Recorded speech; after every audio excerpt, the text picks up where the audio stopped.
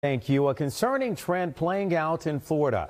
Cases and hospitalizations continue to surge. And as of today, take a look at this. There are more than 15,000 COVID patients in hospitals across the state.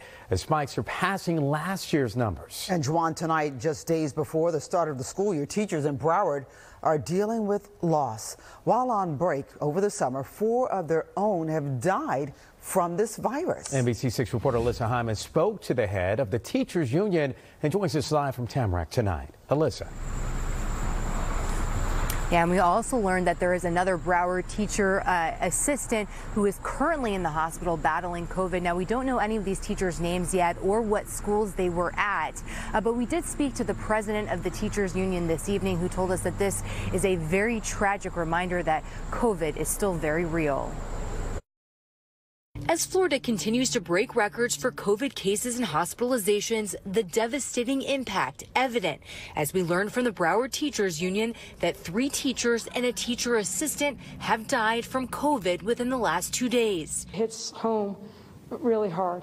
Union President Anna Fusco said those teachers were on summer break when they got the virus, but their colleagues learned of the sad news on Wednesday when teachers returned to the classroom to prepare for the students to come next week. She said at least three of the four were not vaccinated. really hits because we've been in this conversation about masking up in the schools and our own elected governor acting like um, masks are not necessary. Just this week, the Broward School Board voted to require masks in school and defy the governor. The sad news of these recent teacher deaths, Fusco says, just underscores the importance of that decision. Right here in our face, we know people, we're, we're seeing it, we're feeling it, we're living it.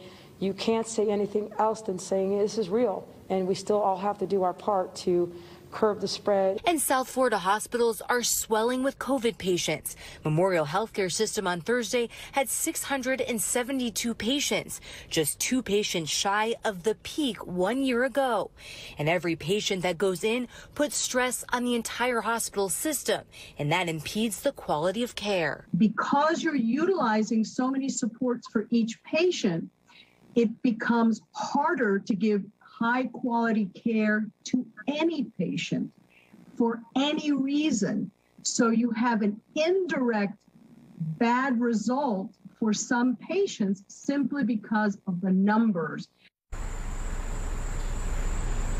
Now, another scary statistic to hear the White House COVID 19 task force said that Florida has, has, had more COVID cases this past week than 30 states with the lowest case rates combined. For now, we're live tonight in Tamarac. Alyssa Hyman, NBC6 News.